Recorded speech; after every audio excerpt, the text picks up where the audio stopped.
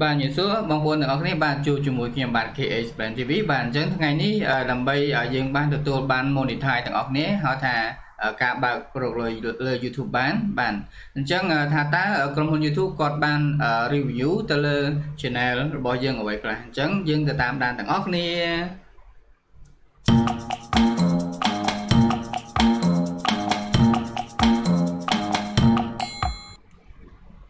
បាទអញ្ចឹងនៅក្នុងនេះខ្ញុំបានលើកច្បាប់របស់ក្រុមហ៊ុន YouTube បាទដោយ YouTube គាត់មាន monetize policy របស់គេហើយនៅថ្ងៃថ្ងៃខែ1បាទឆ្នាំ2020ណាគេបាន update អូខេអញ្ចឹងនៅក្នុងនេះគេថា what we check uh, when we review your channel អញ្ចឹងតើគាត់ check នៅ channel របស់យើងទៅលើអ្វីខ្លះបាទអញ្ចឹងទី1គឺនៅក្នុងខ្ញុំព្រីបន្តិចណាកន្លែងនេះបាទ គឺកន្លែងនេះយើង check នៅលើ main channel ណាបាទអញ្ចឹងខាងក្រុមហ៊ុនក៏ចែកលើ main channel ចាក់តាម main channel នឹងវាមិនបាទ main channel គឺអាស្រ័យទៅលើយើងមើលទៅលើ team ណាការដាក់នេះខាងលើនេះបាទយើងដាក់និយាយចំទៅគឺយើងរៀបចំឲ្យស្អាតណាហើយយើងមានគេហៅនេះអឺក្របខាងមុខនេះវាមានបលយាយណាវាមានតែមួយហ្នឹងហៅតែលក្ខណៈពិសេសរបស់ channel យើងមួយមួយ ថាតើយើង highlight លើអីណាបាទអញ្ចឹងមាន upload មានអីទៅខាងមុខណាហើយមានវីដេអូមានអីបាទ about អីហ្នឹងយើងរៀបចំឲ្យបានណាហ្នឹងហៅ main theme អូខេមួយទៀត most review video ណាអញ្ចឹង most review video បានថាវីដេអូដែលមើលច្រើនជាងគេបាទអញ្ចឹងអឺយើងដាក់នេះ pop ខ្ញុំដាក់ថា popular video ណាអញ្ចឹងកន្លែងខាងមុខ main main ហ្នឹងយើងមាន popular អញ្ចឹងគេមើលអានេះមុនគេនេះណា បាទបន្តមកបន្តមកមកទៀតអញ្ចឹងគេអត់មើលយើងច្រើនទេគេមើលតែអ្វីដែលយើងផបានច្រើនណាបាទអញ្ចឹងគេមើលទៀតបាទ new west video ណាអញ្ចឹងវីដេអូដែលថ្មីថ្មីអឺរបស់ខ្ញុំបាទនេះបាទអឺវីដេអូនេះគឺខ្ញុំអាប់ឡូតមុនមុនហ្នឹងណាមុនហ្នឹងអញ្ចឹងវីដេអូដែលថ្មីថ្មីគឺគាត់មើលលើហ្នឹងណាអ្វីដែលយើងអាប់ឡូតថ្មីជាងគេបាទហើយមួយទៀត biggest proportion of watch time ណា អញ្ចឹងអឺម៉ោងបាទជាមធ្យមគេចូលចិត្តមើលអីច្រើនជាងគេណាអញ្ចឹងគេចូលចិត្តមើលនេះលក្ខណៈរបៀបដកលុយពី ASEAN ទៅធនាគារ ABA Bank ណាអញ្ចឹងអានេះគឺតែប៉ុតមានតែ22 view ទេក៏ប៉ុន្តែម៉ោងវាច្រើនជាងគេណាម៉ោងវាឡើងច្រើនជាងគេគិតជាមធ្យមបាទអញ្ចឹងគេមើលទៀតបាទ video metadata include title thumbnail and description បាទអញ្ចឹង thumbnail បាទ thumbnail សំដៅលើអីណា នេះ thumbnail សម្រាប់លើចំណងជើងណាចំណងជើងវីដេអូរបស់យើងណាបាទតោះមកគេមើលនេះ thumbnail ណាបាទមិញ title បាទសំទោសមិញ title អញ្ចឹងនេះ thumbnail ណា thumbnail គឺក្របខាងមុខយើងណាពេលវីដេអូយើងនេះគឺមានរូបអញ្ចឹងណាយើងរៀបឲ្យស្អាតមកបាទបន្តមកទៀតគឺគេមើលទៅលើ description ណា description គឺយើងរៀបបាទយើងរៀបវែងជាងនឹងបានដោយសារនេះវាមានដល់5000អក្សរនោះអញ្ចឹងខ្ញុំបរិយាយនេះបាទវាបានតិច ហើយនៅក្នុងការរៀបចំណាបងប្អូនបាទយើងរៀបចំទាំងអស់ហ្នឹងជាមួយ title description thumbnail យើងហ្នឹងឲ្យស៊ីទៅនឹងវីដេអូរបស់យើងណាបងប្អូនឲ្យស៊ីគ្នាណាគឺយើងអត់អាចពណ៌នាអីផ្សេងយកអីផ្សេងមកដាក់អត់ត្រូវជាមួយនឹងវីដេអូណាបងណាបែរថាយើងរៀបជាកញ្ចប់ជាមួយនឹងវីដេអូយើងណាបាទ tag ដូចគ្នាណា tag អញ្ចឹងកាលណាយើង default tag ណាឲ្យវាដូចគ្នាកាលណាយើងបង្រៀនអំពីហៅថាច្បាប់ YouTube គឺយើង tag នេះ lesson YouTube អីចឹងណារបៀបធ្វើជោគជ័យ YouTube អីហ្នឹងអវិធីធ្វើម្ហូបនេះអសំទោសវិធីវិធីធ្វើ YouTube បាទអញ្ចឹងទៅយើងដាក់ហោហែមកបានច្រើនមួយមានត្រឹម500 tag ណាអញ្ចឹង tag យើងដាក់ឲ្យស៊ីទៅនឹងវីដេអូរបស់យើងបងប្អូនណាឲ្យស៊ីនឹងវីដេអូរបស់យើងបាទយើងចង់ចាំអូខេអញ្ចឹងគេមើលលើហ្នឹងណាបងប្អូនណាបាទបាទយើងកុំភ្លេចខ្លួនណាបងប្អូនឥឡូវយើងមកមើលច្បាប់ម្ដងណា ហើយទាំងអស់ហ្នឹងយើងទៅត្រូវតែ follow uh the YouTube community guideline យើងទៅ follow នៅតាមច្បាប់របស់គេណាបងប្អូនបាទកុំភ្លេចខ្លួនហើយយើងទុកក្នុងចិត្តណាយើងចង់ចាំទុកបាទទីមួយគឺមាន spam deceptive practice និង scam បាទដូចជា nudity អឺ sex អឺសុខភាពក្មេងៗការស្អប់ណាការស្អប់ឬក៏ដែលមានគ្រោះថ្នាក់ harmful មិនស្អប់ទាំងទៅ មានគ្រោះថ្នាក់ណាការការហាម5ណាបាទឬក៏ការស្អប់នេះគឺថានិយាយអាក្រក់អាក្រក់ហើយអានេះនិយាយអីគេនិយាយថាមានការគម្រាមកំហែងណាឬក៏គម្រាមកំហែងតាមអនឡាញឬក៏តាមវីដេអូរបស់យើងគម្រាមកំហែងគេបាទអូខេអញ្ចឹងយើងយើងចូលទៅមើលមួយមួយណាឥឡូវ spam និយាយពីអីបាទខ្ញុំខ្ញុំលំអិតវាលំអិតមួយមួយណាបងប្អូនឲ្យបងប្អូនមើលបាទព្រោះកាលណាខ្ញុំលំអិតឲ្យបងប្អូនមើលគឺបងប្អូនឆាប់យល់ណាឆាប់យល់ហើយ អឺគឺយើងនឹងធ្វើវីដេអូត្រូវតែម្ដងអូខេអញ្ចឹងយើងមើលអឺការចូលរួមរបស់ creator ម្នាក់ណាឧទាហរណ៍ណាអឺដោយគិតថាវាជាការសបាយហើយគាត់បានផុសដូចដូចគ្នាជាច្រើនណាហើយខមមិនដូចគ្នានៅលើវីដេអូផ្សេងគ្នានិងនៅលើ channel ផ្សេងគ្នាតើវាជា spam ដែរឬទេណាបងប្អូនដោយនៅក្នុងនេះយើងឃើញលក្ខណៈវីដេអូឃើញវីដេអូនៅខាងលើ អញ្ចឹងគាត់ comment ដដែលដដែលនេះឃើញដដែលពាក្យដដែលដដែលទេបងប្អូនគាត់ comment ណាគាត់សប្បាយនឹងការ comment ណាហើយដល់មកក៏ចូល channel យើង comment អញ្ចឹងហើយក៏ទៅ channel ផ្សេងមួយទៀតណា channel ផ្សេងមួយទៀតក៏ comment ទៀត comment ដដែលដដែលទេពាក្យនឹងដដែលដដែលណាបាទអញ្ចឹងបាទសួរថាតើវា spam ដែរឬទេបាទសួរថា spam ឬទេណាបាទចម្លើយគឺនេះគឺជា violent violate the community guideline ពីព្រោះគាត់ផុតដដែលដដែលញឹកញាប់ ច្រើនជាងច្រើនដងវាខ្លាយជា spam ណាច្រើនច្រើនដងខ្លាយជា spam អញ្ចឹងបងប្អូនគួរជិះវៀងណាបងប្អូនណាបាទអូខេអញ្ចឹងមួយទៀតឧទាហរណ៍ក្នុងអ្នកឧទាហរណ៍អ្នក creator ព្យាយាម live ផ្ទាល់និង upload ដោយប្រើ tag សម្រាប់វីដេអូរបស់គាត់ហើយវីដេអូនីមួយៗនោះវាមានដូចដូចគ្នាទេអឺវាមិនដូចគ្នាទេយ៉ាងណាវីដេអូដូចគ្នាសួរថាតើតើគាត់ violent នឹង community guideline ដែរឬទេបាទអរនៅក្នុងនេះចង់និយាយថាពេលនៅពេលយើង live stream យើងផុសវីដេអូណាបងប្អូនតែយើងដាក់ tag ដដែលដែរតើណាព្រាថាបងប្អូនទី1បងប្អូនធ្វើនេះរូបទី1នេះគឺចុះចូលណាគេបងប្អូន បាទដែលយើងដាក់ tag ដដែលណាហើយទី2យើងបាទយើងផងពីទូកណាបន្តមកយើងផងពីរថភ្លើងការហូប game printer អញ្ចឹង tag យើងដដែលដដែលណា បាទអញ្ចឹងសួរថាថាខុសដែរឬទេ បាទអញ្ចឹងបងប្អូនបាទចម្លើយគឺនេះជា violate the community guideline ពីព្រោះ tag មិនត្រូវទៅនឹងវីដេអូបាទអញ្ចឹងបងប្អូនអឺមួយចំនួនណាបងប្អូនណាបាទអឺបើសិនជាបងប្អូនដាក់ tag ដដែលដែលអញ្ចឹងបងប្អូនគួរមើលវាណាព្រោះថាបងប្អូនបងប្អូនធ្វើមហូបបាទមហូបសុទ្ធណាគឺបងប្អូនដាក់ tag ដែរដែរអីទេតែបើបងប្អូនធ្វើមហូបហើយបងប្អូនទៅលេងហ្គេមណា ឬក៏ធ្វើទៅធ្វើកម្មវិធីដើរលេងតែបងប្អូនដាក់ tag មហូបចូលគឺអត់បានទេបងប្អូនណាកន្លែងនឹងតែចាំកាលណាវីដេអូថ្មី tag ថ្មីចាំកន្លែងហ្នឹងបងប្អូនណាវីដេអូថ្មី tag ថ្មីតែបើវីដេអូដូចដូចគ្នារៀបថាបើយើងធ្វើអំពីការដើរកំសាន្តអញ្ចឹងយើង tag ដើរកំសាន្តយើងដាក់ default ដើរកំសាន្តបានណាបងប្អូនបាទដូចគ្នាបានអូខេយើងតទៀតណាបងប្អូន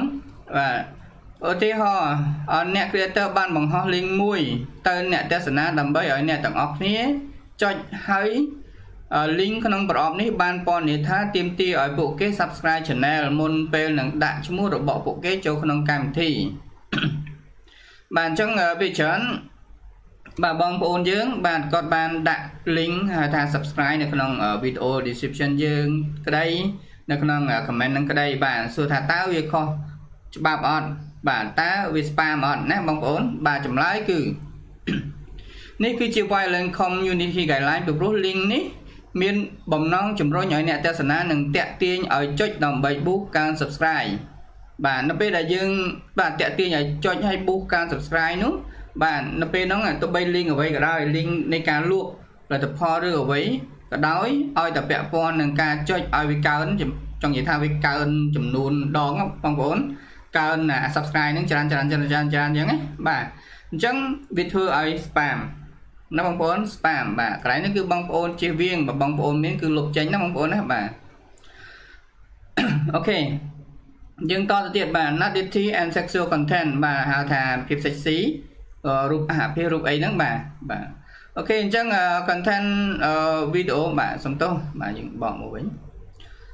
content វីដេអូរូបអាហារភាពដែលតាក់ទាញធ្វើឲ្យអ្នកទស្សនារំភើបរីករាយសាបស្រាលនិងមិនអនុញ្ញាតលើ YouTube ឡើយបាទអញ្ចឹងគេតាក់ទាញសាបស្រាលណាបាទអញ្ចឹងមិនអនុញ្ញាតទេបាទឧទាហរណ៍មានម្ដាយកំពុងបំបើកូនដោយបង្ហាញឲ្យឃើញក្បាលដោះនិងបានផ្ដល់នៅមេរៀនសំខាន់សំខាន់ដល់ម្ដាយដទៃទៀតហើយវីដេអូនេះបានថតចំក្បាលដោះនិងមាន tag ហៅថា breastfeeding uh, mom baby and breast milk បាទអញ្ចឹងសួរថាតើវីដេអូនេះអឺបងប្អូនអឺ violent ដែរទេហើយក៏ច្បាប់ដែរទេបាទបាទចម្លើយគឺបាទដោយ content នេះបានបង្ហាត់ពីបទពិសោធន៍ដ៏ល្អនិងអត់មានភាពត្រេកត្រអាលរំភើបរីករាយដល់អ្នកទស្សនានោះទេ បាទអញ្ចឹងវីដេអូនេះគឺអត់មានបង្ហាញនៅគេហៅថាភាពត្រេកត្រអាលបងប្អូនអឺគ្រាន់តែគាត់ បង្ហាញឲ្យឃើញថា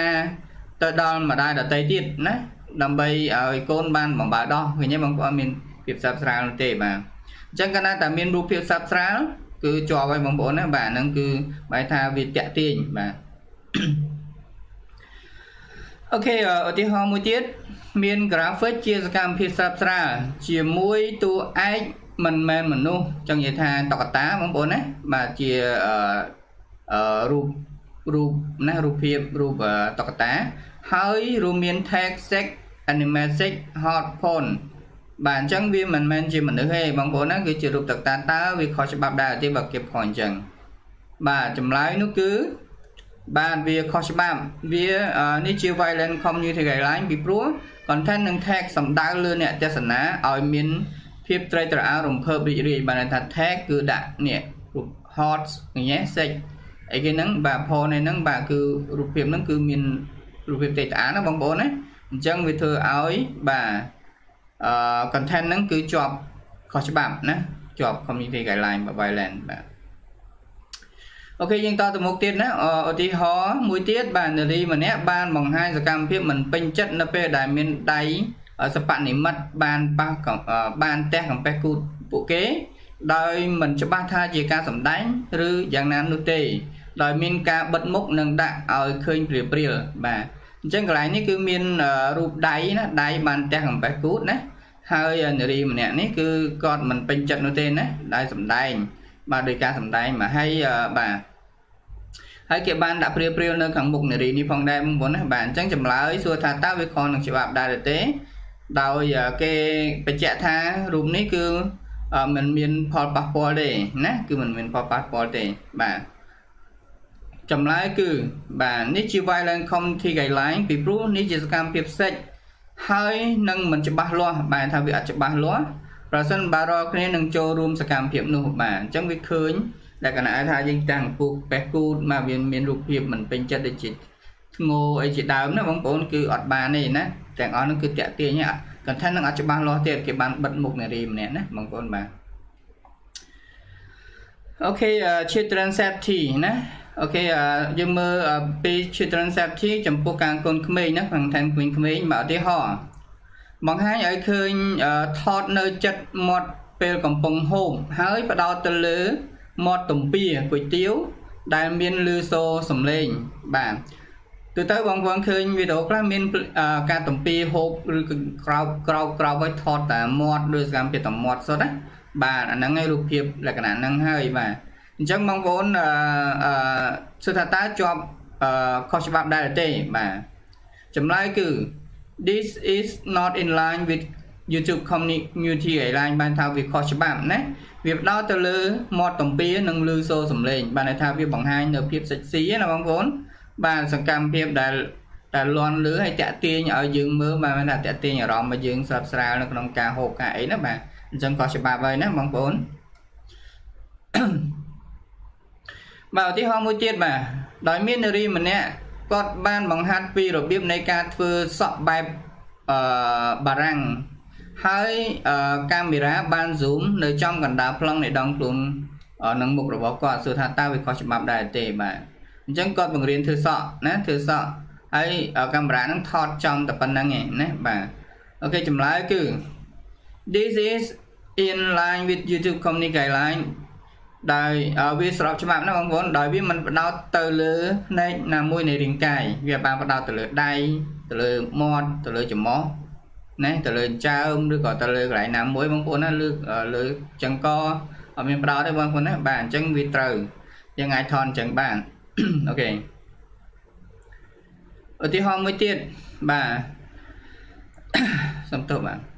ដោយមាន 6C នឹងមានការអាប់ឡូតពីរបៀបនៃការផាត់មុខហើយកាមេរ៉ាបាន zoom ចេញទៅចំណុចកណ្ដាលនៃដងខ្លួនបាទហើយបរោះប្រើប្រាស់បានផុស comment នៅលើវីដេអូរបស់នាងដោយនិយាយថានាងមើលទៅស្អាតណាស់កុំភ្លេចតាក់ទងខ្ញុំផងបាទន័យថាម្នាក់នេះគឺបាទគាត់ប្រើសម្ដីមិនសមរម្យចំពោះរូបនេះណាតែនាងគាត់បានផាត់រូបតើវាខុសច្បាប់ដែរឬទេបាទខុសច្បាប់ដែរឬទេ ចម្លើយគឺបាទវីដេអូនេះគឺបាទស្របច្បាប់ដោយវាបដោតទៅលើភ្នែកណាមួយនៃរាងកាយណាអញ្ចឹងបាទដោយវាមិនបដោតសំទោសបាទដោយវាមិនបដោតទៅលើផ្នែកណាមួយនៃរាងកាយបានន័យថាវាបដោតទៅលើចំណុចណាមួយគ្រាន់តែគាត់ស្លៀកពាក់ខោចលើខោចក្រោមបន្តិចណាអញ្ចឹងគាត់ថតមកទាំងអស់ហ្នឹងបាទហើយគាត់ផាត់មុខរបស់គាត់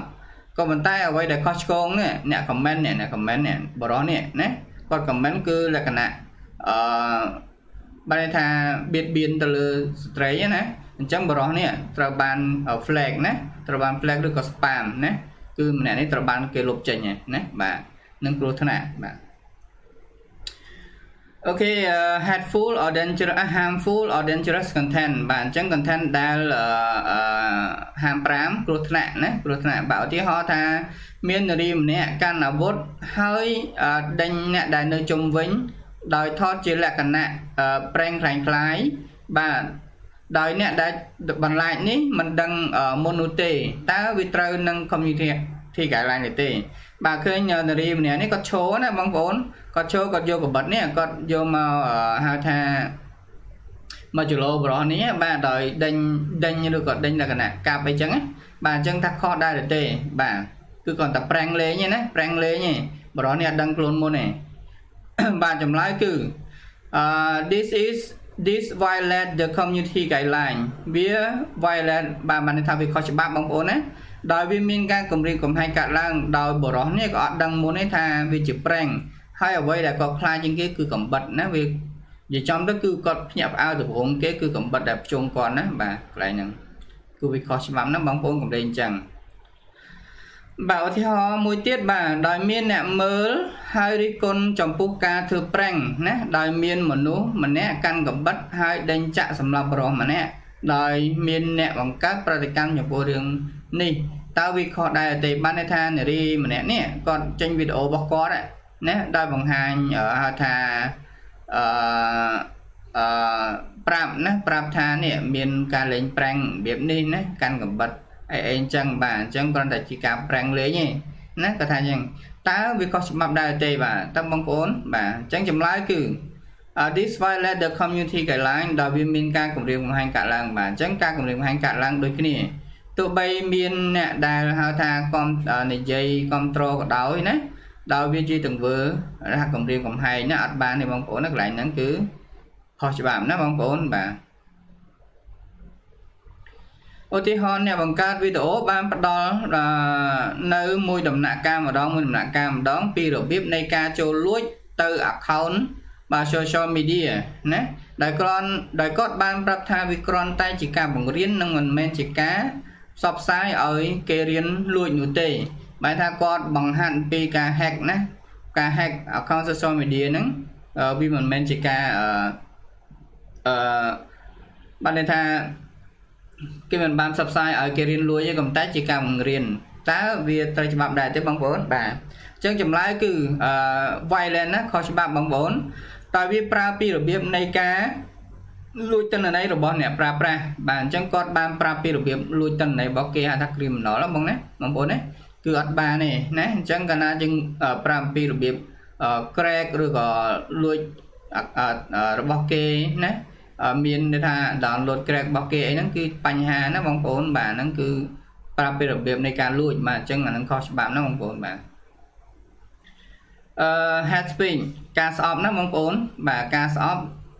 បាទដូចជាឧទាហរណ៍ថាមានអ្នកអាប់ឡូតវីដេអូបង្ហាញពី Nani symbol និងវិភាសាពីរឿងផលប៉ះពាល់នៃសង្គ្រាមលោកលើកទី2ណាហើយគ្មានសញ្ញាថាឲ្យមានការ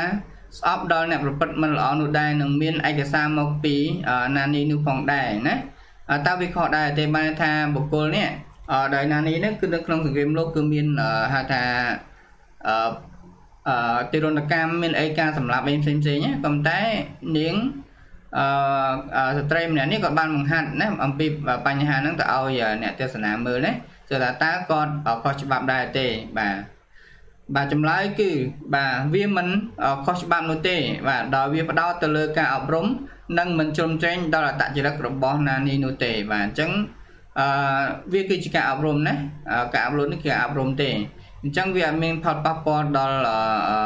ដូចថាបុគ្គលដែលគាត់មើលហើយមើលមើលអញ្ចឹងអត់មានបង្រៀនថានេះណែឯងទៅត្រូវស្អប់មានដែរអត់ទេណាគាត់ទៅជាបង្ហាញថាគាត់នេះធ្វើអំពើដែលមិនល្អតែប៉ុណ្្នឹងបាទ អូខេឧទាហរណ៍មួយទៀតវីដេអូនេះបង្ហាញពីបទសម្ភាសន៍របស់មនុស្សដែលកំពុងប្រើពាក្យសម្ដីស្អប់ខ្ពើមប្រឆាំងនឹងក្រមសាសនាគណៈពេលដែលឯកសារនៅក្នុងធម្មជាតិវីដេអូបានបដោតយ៉ាងខ្លាំងទៅលើអំពើហិង្សានោះអឺចំពោះក្រុមទាំងនោះទាំងនេះហើយនៅចុងបញ្ចប់យកព្រមអកប្បកិរិយានឹងត្រូវបានធានាបាទអញ្ចឹងយ៉ាងម៉េចអឺដោយសារដែលមានអ្នកអ្នកកសែតណាអ្នកកសែតឬក៏កម្មវិធីទូទស្សន៍ណា គេចោះមកសម្ភាសកញ្ញានេះបាទកញ្ញានេះក៏ក៏បានរៀបរាប់ប្រាប់អំពីទទួលនឹងអំពីបុគ្គលណាមួយហើយបុគ្គលដែលថាសាសនាណាអញ្ចឹងអឺក្រោយពីសម្ភាសហើយខាងវីដេអូនេះបានគ្រប់គ្រងនឹងទង្វើទាំងអស់ហ្នឹងបាទអញ្ចឹងទង្វើនេះគឺដល់ទៅលើឲ្យស្អប់ទៅលើបុគ្គលមួយបាទតើខុសច្បាប់ដែរឬទេបាទកន្លែងហ្នឹងបងប្អូនបាទប៉ុន្តែ this violate community guideline វាខុសច្បាប់ ដោយវាបានចែករំលែកដល់ផ្សព្វផ្សាយការខឹងនិង violence ការស្អប់ណាបានទៅលើក្រុមមួយជាក់លាក់អញ្ចឹងគាត់ផ្ដល់ឲ្យការស្អប់ទៅលើក្រុមមួយហើយអញ្ចឹងកសែតនេះគាត់គ្រប់គ្រងទៀតអញ្ចឹងវាខុសតែកសែតនឹងអត់គ្រប់គ្រងគឺអត់ខុសទេបងប្អូនណាបាទបាទឧទាហរណ៍មួយទៀតថាអ្នកបង្កើត ត្រូវបានបង្ហាញការរិះគន់គោលនយោបាយដែលបានបន្តដោយមន្ត្រីរដ្ឋាភិបាលដែលកំពុងចូលឈ្មោះសម្រាប់តំណែងនិងដុតសម្ភារៈយុទ្ធនាការរបស់ពួកគេជាសេចក្តីថ្លែងការណ៍នយោបាយក្នុងការតវ៉ាតើវាខុសនឹងច្បាប់ដែរទេបាទតើខុសច្បាប់ដែរទេបាទអញ្ចឹងกระดาษនេះគឺกระดาษស្លឹកដែលគេផ្សព្វផ្សាយណាដូចជាផ្ទាំងប៉ាណូផ្ទាំងហ្នឹងគេដុតចោលណាអញ្ចឹង ម្នាក់នេះអ្នកដុតណាអញ្ចឹងតើខុសដែរឬទេការធ្វើបែបហ្នឹងបាទបាទគឺទាំងនេះអត់ខុសច្បាប់នោះទេបាទដោយវាមិនផ្សព្វផ្សាយពីសកម្មភាពរំលោភបំពានទៅដល់ក្រុមមនុស្សនិងសេចក្តីថ្លែងការណ៍នយោបាយបាទអញ្ចឹងវាអត់មានប៉ះពាល់ទេណាគាត់តែដុតទៅទេទៅទេគឺអត់មានប៉ះពាល់ដល់រាជរដ្ឋាភិបាលទេហើយក៏អត់មានប៉ះពាល់ទៅដល់ក្រុមមនុស្សណាមួយដែរណាបងប្អូនបាទអូខេ harassment and cyberbullying បាទ harassment ហ្នឹងបែរថាគម្រាម កំហែងណាបងប្អូនគម្រាមកំហែងសម្លុតអីចឹងណាបាទឧទាហរណ៍ដោយមានអតិថិជនបាន review នៅភោជនីយដ្ឋានមួយកន្លែងបាទដោយគាត់បញ្ចេញនៅសកម្មភាពនិង review មិនហូបអាហារដែលមានគុណភាពមិនល្អតើវាខុសទៅនឹងច្បាប់ដែរឬទេណាបងប្អូននេះបកគលនេះគាត់គាត់ហូបអាហារទៅអត់ឆ្ងាញ់ទេក៏ប៉ុន្តែគាត់ថាឲ្យឲ្យភោជនីយដ្ឋានហ្នឹងមកហូបអីចឹងណាអត់ហូបអត់ឆ្ងាញ់បាទអញ្ចឹងគឺថាតើគាត់ថតវីដេអូសកម្មភាពបែបហ្នឹងខុសច្បាប់ដែរអត់បាទ បាទបាទអញ្ចឹងវីដេអូនេះគឺអត់ខុសច្បាប់នោះទេណាបងប្អូនដោយនេះมันបានជាការវិបហាដល់មេចុងភៅនោះទេណាអញ្ចឹងបើសិនជាគាត់នេះវិបហាទៅដល់មេចុងភៅហើយប្រាប់ឈ្មោះអឺប្រាប់អតញ្ញាណបានគាត់ឬក៏ប្រាប់ទីកន្លែងរបស់គាត់ណាចុងចុងឈ្មោះអីអាហ្នឹងគឺគឺថតបែបហ្នឹងអត់បានទេតែក៏សំដៅទៅលើភោជនីយដ្ឋានណាបងប្អូនគឺมันសំដៅទៅលើណាម្នាក់ឯងណាអញ្ចឹងសំដៅទៅលើ រូបដែលជាដែលហៅថាអចលនវត្ថុបងប្អូនបាទគឺអត់ខុសទេអូខេឧទាហរណ៍មួយទៀតអ្នកបង្កើតចង់បង្ហាញពីរឿងដោយសង្សាររបស់នាងក្បត់នឹងវិធីធ្វើឲ្យនាងប្រសើរឡើងវិញណានាងមិនបានបង្ហាញនៅរូបភាពសង្សារនាងទេនឹងគ្រាន់តែប្រាប់នៅឈ្មោះសង្សារនាងប៉ុណ្ណោះហើយវីដេអូនេះបានផ្ដោតទៅលើដំបូន្មាននិងការណែនាំពីបទពិសោធន៍នៃការពិតប្រាកដរបស់សង្សារនាងកន្លងមកតើវាខុសច្បាប់ឬទេបាទ បាទអញ្ចឹង harassment ហើយនិង cyberbullying នេះកាលណាតែយើងខ្ញុំបញ្យល់ទេបងប្អូនណាបញ្យល់តិចកាលណាតែយើងបង្ហាញនៅតញ្ញាណហៅថាលក្ខណៈសាធារណៈឬក៏តិនន័យឬក៏ email របស់គេនៅលើវីដេអូយើងណាអញ្ចឹងអាហ្នឹងឯងគឺហៅថាខុសច្បាប់ហើយណាបងប្អូនកន្លែងហ្នឹងណាបាទអញ្ចឹងយើងធ្វើអញ្ចឹងខុសអូខេក៏ដូចនៅក្នុងវីដេអូនេះដែរបាទនាងគឺគាត់បង្ហាញណាគឺគាត់បង្ហាញ ថាសង្សារនាងក្បត់បត់វត្តនាងបាទហើយនាងបានបង្ហាញនៅសង្សារដែលគ្រាន់តែប្រាប់នៅឈ្មោះបាទតែខុសតែទេបាទចម្លើយគឺវាមិនខុសនោះទេដោយសារនាងផ្ដោតទៅលើវិធីសាស្ត្រនៃការក្បត់និងវិសោធន៍និងមិនមែនបានបង្ហាញពីការបំពេញលើសង្សារនោះទេបាទអញ្ចឹងគ្រាន់តែគាត់ប្រាប់ពីបទពិសោធន៍ឲ្យនារីដទៃទៀតដឹងណាដើម្បីដើម្បីឲ្យដឹងថាបរោះដែលក្បត់នឹងគឺរបៀបម៉េចតែប៉ុណ្ណោះហើយគាត់តែប្រាប់ឈ្មោះគោលនៃ ហៅថា first name ឈ្មោះរបស់គាត់ហ្នឹងទៅលើតែប៉ុណ្ណោះហើយអត់មានបញ្ជាក់ពី email ឬក៏តាញ៉ាំបាននៃគាត់ទេណាបាទអញ្ចឹងអត់ខុសទេបាទឧទាហរណ៍មួយទៀតនៅក្នុងឧទាហរណ៍នេះអ្នកច្នៃប្រឌិតវិភាសាអំពីការស្ដោះទឹកមាត់ដាក់ផ្ទាល់ខ្លួនជាមួយអ្នកបង្កើម្នាក់ទៀតអឺនឹងលើកទឹកចិត្តឲ្យអ្នកមើលផ្ញើសារ ដែលឈឺចាប់ទៅអ៊ីមែលផ្ទាល់ខ្លួនរបស់ពួកគេបានន័យថាបរិសនេះគាត់បានមានចំនួនមួយបុគ្គលម្នាក់ទៀតហើយចេញវីដេអូប្រាប់នៅអ៊ីមែលប្រាប់អីទៅគេណាឲ្យអ្នកទេសនាហ្នឹងឲ្យចូលទៅស្អប់ channel ហ្នឹងដែរដែលគាត់មាន fan គាត់ល្អល្អគាត់ប្រកែបងប្អូនណាបាទអញ្ចឹងអ្នកបង្កើតទី2ត្រូវបានគ្របដណ្ដប់យ៉ាងលឿនជាមួយនឹងបរិមាណដ៏ច្រើននៃសាររួមទាំងការគម្រាមកំហែងដល់ការស្លាប់នោះទៀតបាទអញ្ចឹងមានគម្រាមកំហែងដល់ស្លាប់ទៀតណាបាទ អញ្ចឹងគាត់បានទទួល email ច្រើនណាស់បាទណាតើវាខុសនឹងច្បាប់ដែរឬទេបាទចម្លើយគឺ this violate community guideline បែរថាបាទនេះគឺខុសច្បាប់ដែលគាត់បានបង្ហាញព័ត៌មានដែលមិនមែនជាសាធារណៈរួមមានសម្រាប់គោលបំណងឲ្យចាប់អារម្មណ៍ការញុះញង់ការរំលោភបំពានបាទអញ្ចឹងនៅក្នុងនេះគាត់នេះក៏គាត់ស្អប់ណាហើយគាត់បានបំពេញដោយគាត់ផ្ញើ អ៊ីមែលផ្ញើអីហ្នឹងឬក៏ផ្ញើសារឬក៏លេខទូរស័ព្ទអីហ្នឹងទៅឲ្យអ្នកទេសនាណាឲ្យគាត់ឃើញគាត់ចូលទៅស្ដីបន្ទោសណាគឺហ្នឹងឯងអាខុសច្បាប់ដូចអ្នកណាគេថាឧទាហរណ៍ថាគេបានបោកយើងណាហើយយើងយើងយកតញ្ញបានយកអីបង្ហាញគេហើយយើងដាក់វីដេអូអញ្ចឹងហើយយើងឲ្យគេនឹងចូលរួមស្អប់ជាមួយយើងបានហ្នឹងគឺខុសច្បាប់ហើយបងប្អូនណាបាទ បាទអញ្ចឹងជាចុងក្រោយគឺបាទគឺអស់ហើយបាទនៅមានផ្សេងផ្សេងទៀតតែគាត់ថាវាចំណុចសំខាន់សំខាន់ដែលខ្ញុំលើកមកដើម្បីបងប្អូនអាចយល់ហើយបងប្អូនទុកក្នុងចិត្តណានេះ keep in mind that any content you post must follow the community guideline follow our follow សំទោស follow all our community guideline អញ្ចឹងយើងតាម